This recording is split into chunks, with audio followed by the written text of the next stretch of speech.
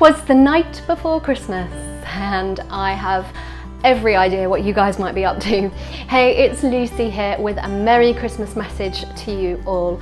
Maybe you are frantically finishing up with present wrapping, thinking about how you're going to put the gifts under the tree. I love to put them all out and have it as a lovely surprise when the children come down. Um, maybe you're thinking about the stealth Santa moves to get those stockings perfectly positioned for them to wake up to.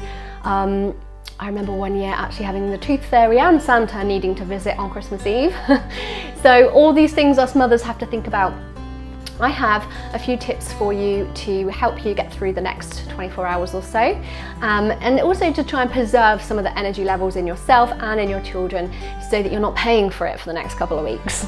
First one is if you use a sleep-wake clock, if you use one of these clocks that tell your children when to start the day or when they're allowed to get up, don't break the rules. Now that sounds Scrooge-like, doesn't it? Like, well, why? It's Christmas morning. Why can't they get up a bit earlier? That's fine. If they can and you're happy with that, manipulate the clock. Tell the clock that it can wake up at five and then you know your kids can wake up at five. or, or keep the rule as it is, but stick to it. Whatever you decide, just make sure that the clock knows um, what your rule is for that particular morning and that way your child isn't left going, ah, so I don't have to do what the clock says. Is that what you're saying, mummy and daddy? um, so just pick one of those, either stick to it or change it, but don't break the rules. Yeah, an older child would probably understand if you told them that it's okay because it's Christmas, but younger ones don't get that so easily, and especially if you're just making headway with training them to obey the clock, um, even more reason to stick with that. The second one I'm going to give you here if your child is still napping in the daytime, then don't forget that sleep tomorrow. It's easily done when there's so much going on, but actually all the more reason why they probably do need it.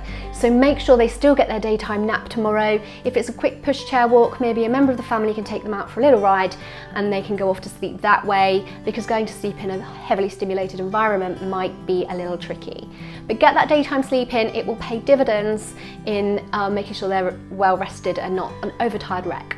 the next one I have for you is on Christmas Day night, after the busyness of the day, try to get an early night, maybe yourself, but definitely your children. Um, after all that excitement, an early night on that night is going to help them sustain that energy to carry on and replenish some of the probably lost sleep. Um, that they need that to then be able to carry on with the festivities and fun of Christmas time. And you know, most importantly of all, the biggest tip I have for you is enjoy Christmas, enjoy your time with your family.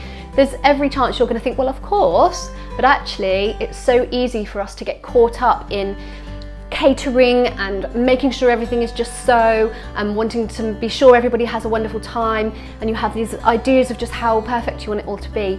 But actually you fail to then show up and be there. I mean you're physically there but are you mentally completely there Engage with your family, watch those kiddies' faces, interact with them. It will bring them more joy, it will bring you more joy, and it will be so much more of a fulfilling and memorable Christmas time for you all.